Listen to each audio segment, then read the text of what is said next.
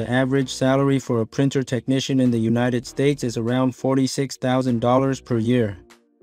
Those employed in the printing industry may earn a higher salary than those in other industries. Technicians who have a certification from the Printing Industries of America can expect to earn a higher salary than those without certification.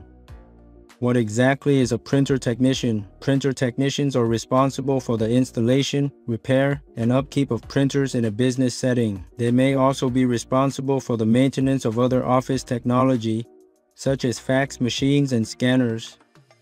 The printer technician job description may vary depending on the size of the business. In a small business, the technician may be responsible for all technology in the office. In a larger business, the technician may only be responsible for printers and other related technology. Responsibilities of a printer technician may include installing new printers, repairing printers that are not working correctly, updating printer drivers, changing printer settings to optimize printing, ordering and stocking printer supplies, troubleshooting printing problems, training employees on how to use printers.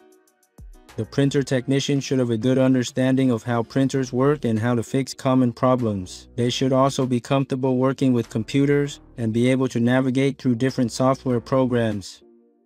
In order to be successful in this role, the technician should be able to work independently and have a strong attention to detail.